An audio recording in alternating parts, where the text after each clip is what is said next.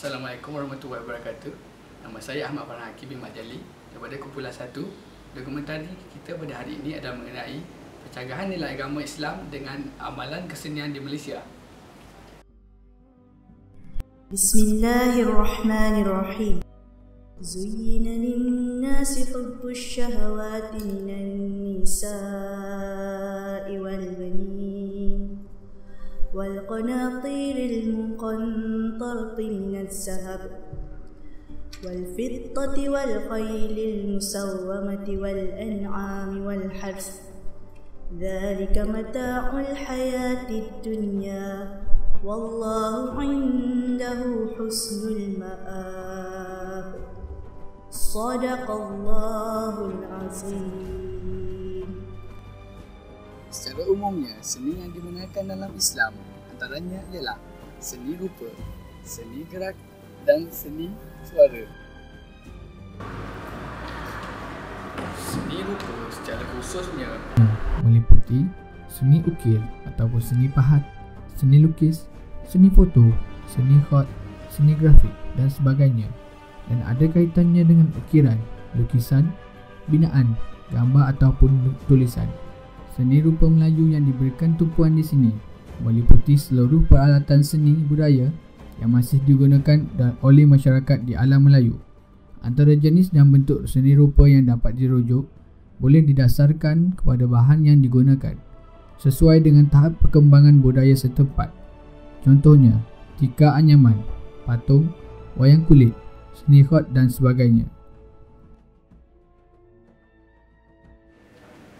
menurut Islam, seni suara terbagi kepada dua.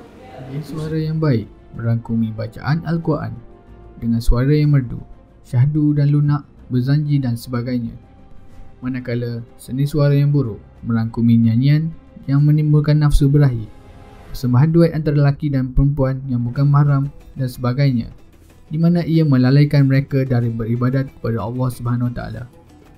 Menurut kesenian Melayu, istilah seni suara merujuk secara langsung kepada unsur suara yang menggemakan irama lagu, rentak dan nyanyian yang berpadu dalam sesebuah susunan muzik. Walaupun perkataan muzik merujuk kepada istilah popular, setelah kemasukan unsur barat yang juga sebenarnya meminjam istilah dari Parsi. Namun, seni suara yang merangkumi aspek seni muzik itu sudah lama berkembang. Di Malaysia, seni suara masyarakat Melayu merangkumi nyanyian dan seni muzik. Nyanyian adalah ungkapan bersajak seperti pantun, syair dan sebagainya yang mempunyai irama dan lagu.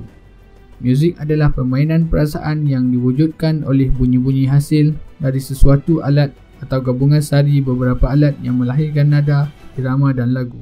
ولا تقربوا الزنا إنه كان فاحشة وساء سبيلا Dalam kalangan bangsa Melayu, seni gerak merangkumi aspek alunan gerak, gerak laku dan diiringi alunan muzik. Ia merupakan ekspresi jiwa yang disampaikan dengan gerakan penuh irama. Dalam Islam, ia dilarang kerana boleh mengundang kepada kegairahan syahwat. Contoh larangan, nyanyian berunsurkan lucah. Dan dua, drama-drama liar. Kesimpulannya, seni Islam merupakan sebahagian daripada kebudayaan Islam. Yang kedua, perbezaan seni Islam dan bukan Islam adalah dari segi niat dan nilai akhlak yang terkandung dalam hasil seni Islam. Yang ketiga, tujuan seni Islam adalah kerana Allah Subhanahu Wa Taala.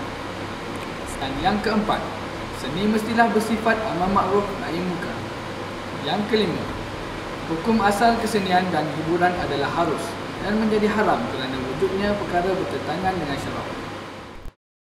والعصر إن الإنسان لفي خسر إلا الذين آمنوا وعملوا الصالحات وتواصوا بالحق وتواصوا بالصبر.